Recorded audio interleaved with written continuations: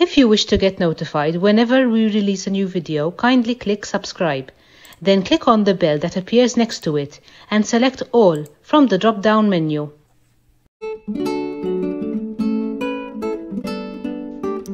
This video features one of the subspecies of the western honeybee, the Maltese honeybee, which is scientifically known as Apis mellifera ruttneri. It was declared as a distinctive subspecies in 1997 and is endemic to the Maltese Islands, which are an archipelago of islands that are situated in the south of Europe, precisely at the center of the Mediterranean Sea.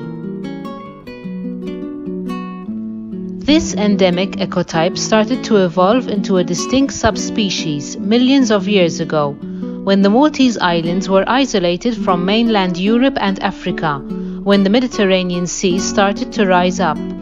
Due to this separation, the honeybee found itself confined to a small island. Hence, there was lack of gene flow between other bees in the neighboring regions. Eventually, over a span of millions of years, this led to the evolution of this distinct subspecies.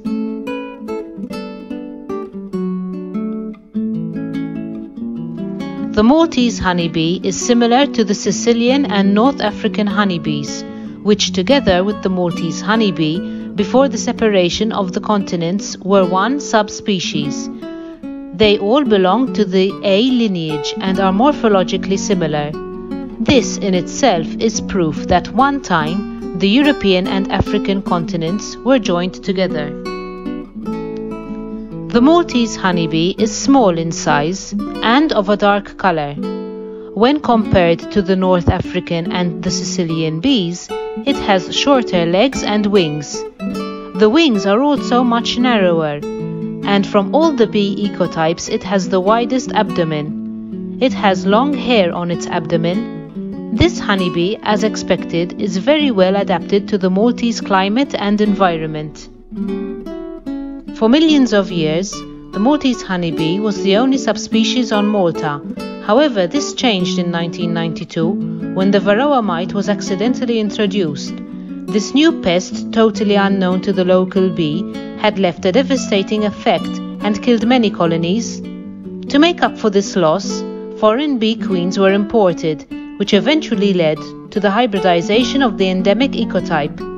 The continuous importation of foreign queen bees is considered as the biggest threat to the existence of the Maltese honeybee, which is rare and on the verge of extinction.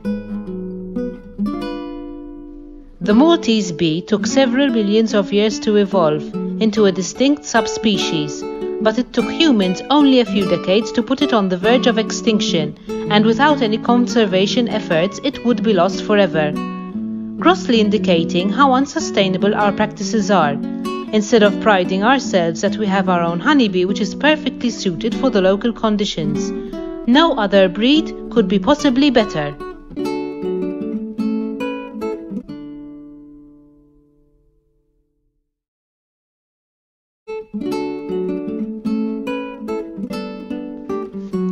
Video will feature special strategies that were evolved by a particular subspecies of the honeybee in order to evade an attack from the oriental hornet. Let me first start by giving you some background about the situation. This footage was shot on the island of Malta, where the honeybee, Apis mellifera, and the oriental hornet, Vespa orientalis, are both indigenous, meaning that they have been living together on the island before the arrival of man.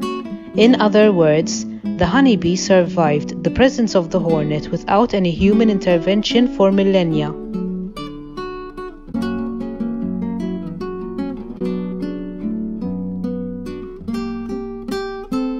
On the island of Malta, there is a particular subspecies of the western honeybee, Apis mellifera ruttneri, this particular subspecies has evolved special strategies to control attacks by the oriental hornet and is even capable of killing it.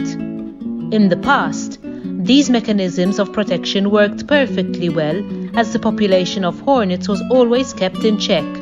However, lately, due to various factors, which are all due to human interference, have helped to boost the population of the oriental hornet to a point that is becoming difficult for the honeybee to deal with.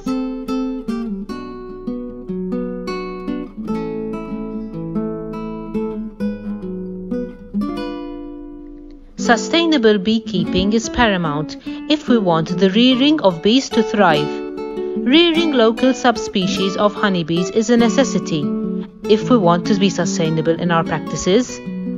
The endemic honeybee has been living in Malta for millions of years, and its survival in itself shows that it is well suited for the local conditions.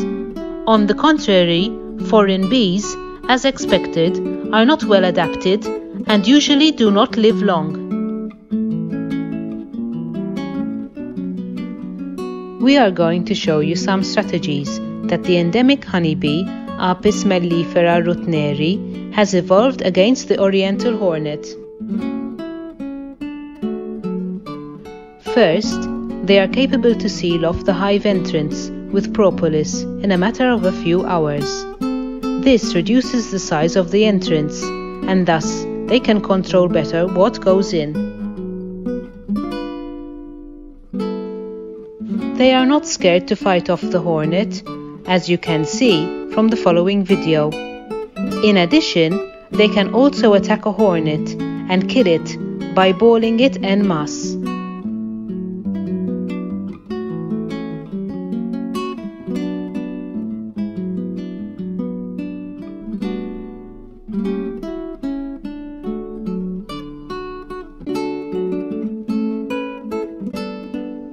Although not visible in this video, at one time an oriental hornet flew over the honeybees. The reaction of the bees was caught on camera. Here, you can observe their reaction.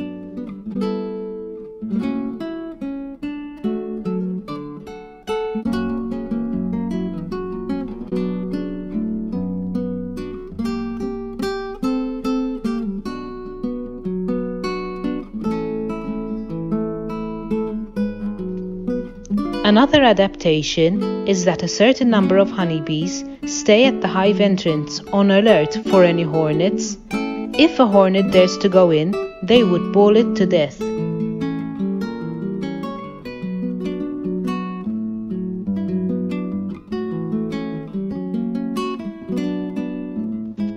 The final strategy that we are going to show you is how the honeybees fly while leaving or returning to the hive they make it difficult for the hornet to catch them.